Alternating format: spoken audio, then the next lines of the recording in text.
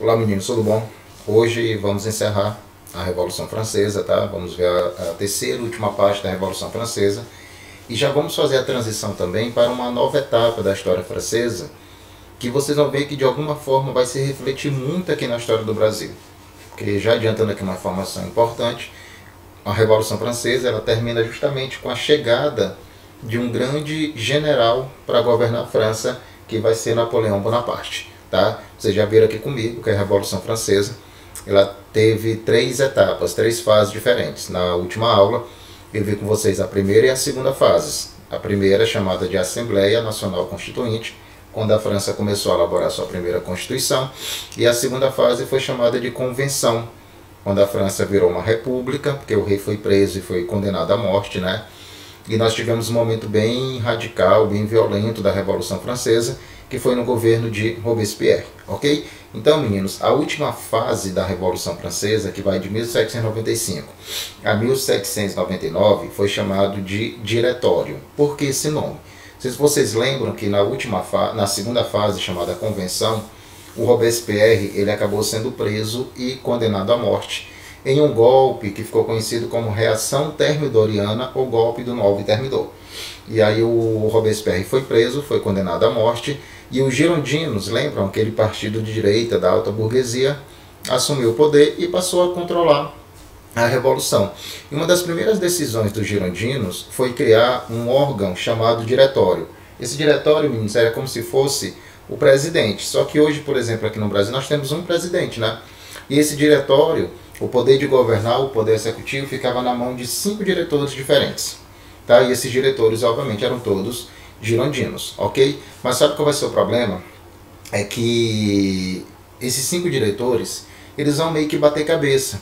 Né? Um vai querer mandar mais do que o outro, um vai querer anular a decisão do outro, ou seja, o que os girondinos acreditaram que para criar um diretório para gerar uma estabilidade política, para acalmar a situação na França, fez foi ter um efeito contrário que devido a esses cinco diretores eles não se entenderem na política, de brigarem entre si, acabou gerando muita instabilidade política. E o medo dessa alta burguesia é que a revolução saísse novamente do controle e eles perdessem de fato toda a estabilidade que eles já estavam alcançando. E aí, para piorar a situação, meninos, a França ela foi invadida novamente. Áustria, Prússia e agora a Inglaterra, maior potência mundial, invadem a França para acabar com a revolução na chamada Segunda Coligação Antifrancesa. E de fato foi uma invasão muito forte, até porque contava com a participação da Inglaterra, que não participou da primeira coligação.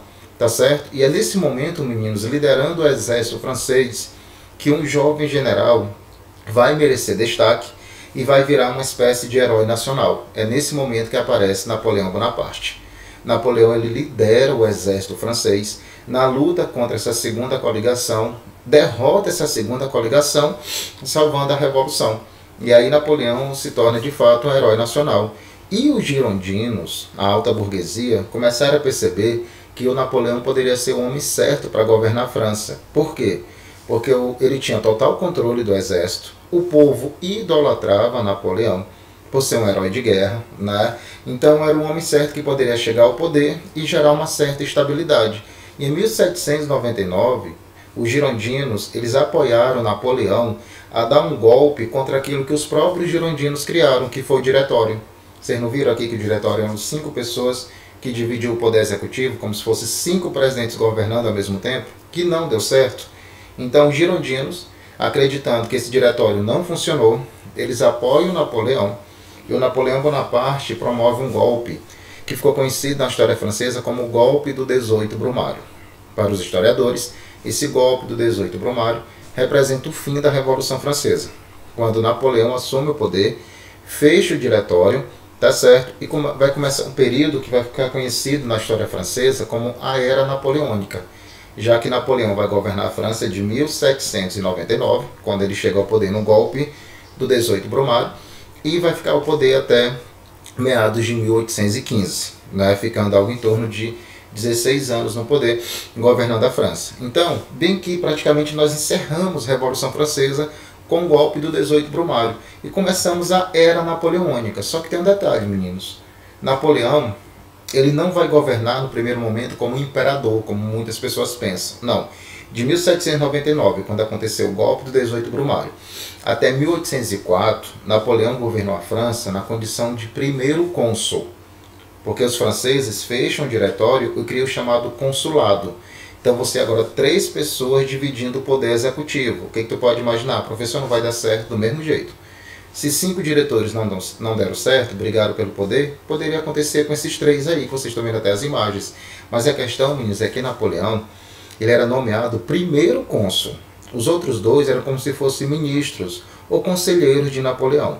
Tá? E Napoleão, como cônsul, ele tinha um poder que seria temporário, era como se fosse um, um governo provisório. Ele iria governar a França até a França ter uma certa estabilidade, tá bom? E realmente o Napoleão, ele acabou promovendo muitas medidas importantes para a França, tá? Ele até certo ponto resolveu muitos problemas econômicos da França, tá certo? Ele trouxe novidades, não é?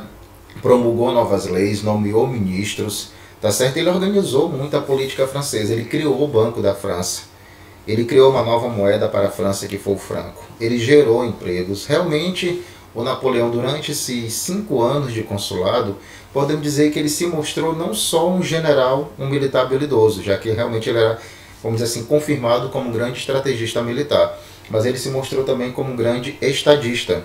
Ele administrou muito bem a França. Aí vocês imaginam o seguinte: se antes do Napoleão chegar ao poder com o golpe do 18 Brumário, ele já era extremamente famoso por ser um herói de guerra e idolatrado pelo povo, vocês imaginam ele chegando ao poder como o primeiro cônsul da França, e nesses cinco anos iniciais, ele acabou de fato melhorando muito a economia francesa, criando uma moeda nova, criando um banco, gerando emprego, promovendo na França uma coisa que a Inglaterra já havia promovido, uma revolução industrial.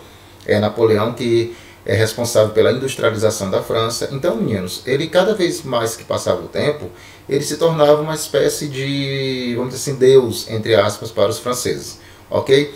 Durante também o consulado, Napoleão ele criou um documento, que é essa imagem que vocês estão vendo, que ficou conhecido como Código Civil Napoleônico.